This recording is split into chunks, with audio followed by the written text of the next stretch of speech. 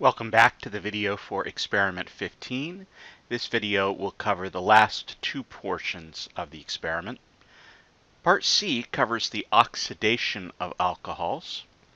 Uh, recall from the lecture uh, or my lecture videos that uh, when we say a compound is oxidized in organic chemistry, we mean that the number of carbon-oxygen bonds in the compound increases and or, so it can be both or just one, the number of carbon-hydrogen bonds decreases. So that's ultimately what we're looking for there.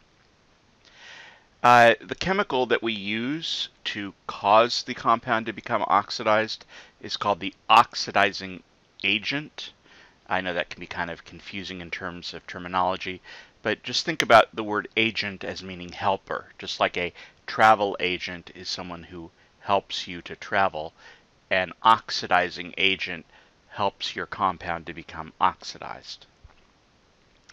And there are many chemicals that will do that. For example, hydrogen peroxide, which we've used, potassium permanganate is a good oxidizing agent. Um, but we're just going to be very generic here and instead write uh, the letter O in square brackets, and that just stands for an oxidizing agent. Uh, in this experiment, we are specifically going to use a solution of chromate ion.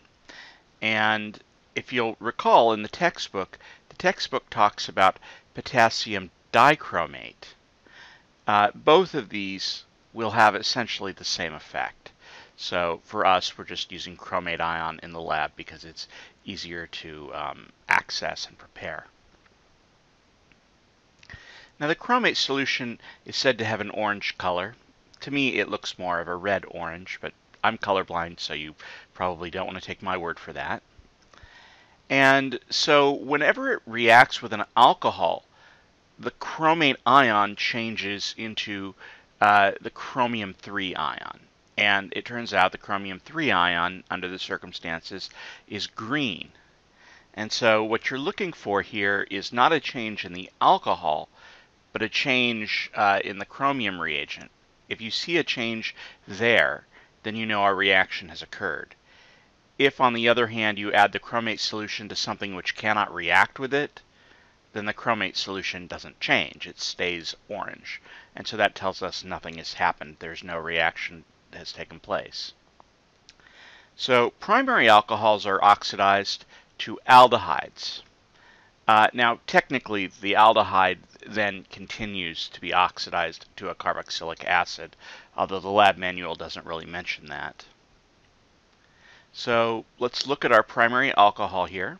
So we've got a carbon bonded to two hydrogens and one carbon-containing group is what the R is understood to stand for. We're reacting it with uh, the chromate ion. And the way to think about what's going on here is this carbon loses a hydrogen, this oxygen loses its hydrogen, and we've put a double bond in its place. That's how you want to visualize these kinds of reactions, and you won't go wrong if you remember to do it that way. So you lose a hydrogen from either side of the bond and form a double bond there in its place. So you're increasing the number of bonds to oxygen. And so clearly that leaves this carbon with only one hydrogen, and that gives us an aldehyde. In the process, the chromate ion changes from orange to the chromium 3 ion, which is green. Secondary alcohols become oxidized into ketones by the chromate ion.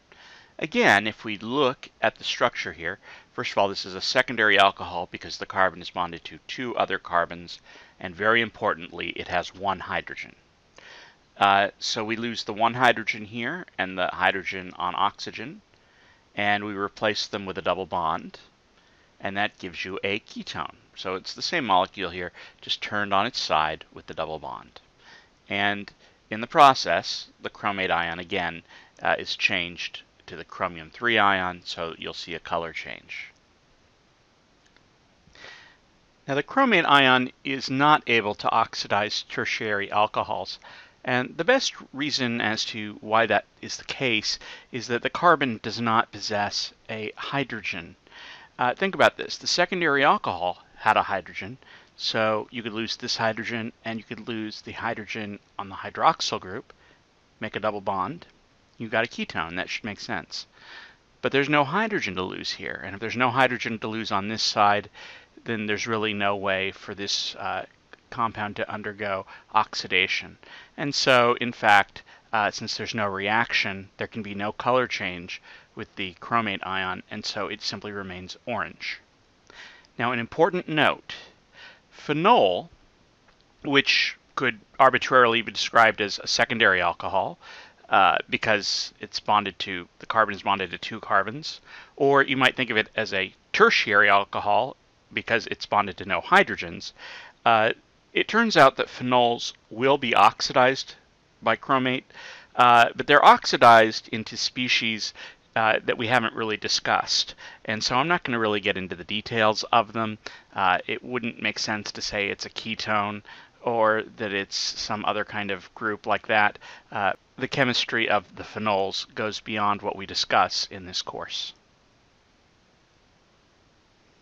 Part D involves a test which is specific for identifying phenols, and that is the iron 3 chloride test. It turns out that phenols form uh, what is called a complex ion in the presence of iron 3 ions. Uh, that is essentially a type of species where different phenols clump together around the iron 3 ion, and I'm not going to go any more into specifics as to what the complex ion looks like than that. Uh, but suffice to say that when iron 3 is alone by itself and has nothing to uh, form a complex with, it should be yellow in solution. And since the other alcohols that we studied cannot form the complex, adding iron 3 to them uh, causes no change. The solution simply remains yellow. However, we will notice a very distinct color change to purple when we add phenol to that compound. Let's go ahead and take a look at the results of the reactions for part C and for part D.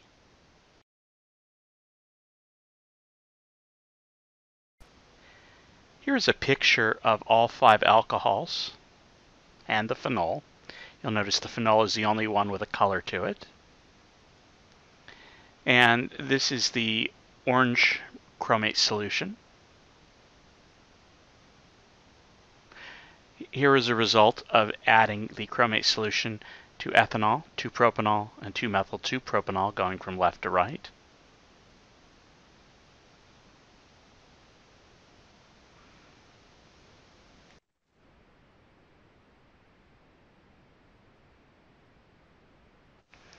And here is the result of adding it again to 2-methyl-2-propanol, that's the same test tube, and then cyclohexanol, and then finally phenol.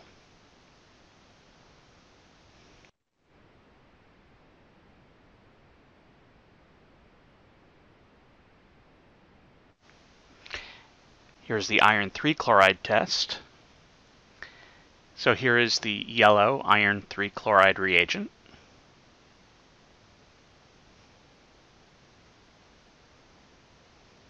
And as before, we've added it to the three test tubes, ethanol, 2-propanol, and 2-methyl-2-propanol.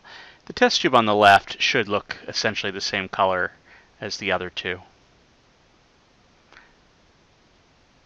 Uh, again, there's 2-methyl-2-propanol, cyclohexanol, and finally phenol.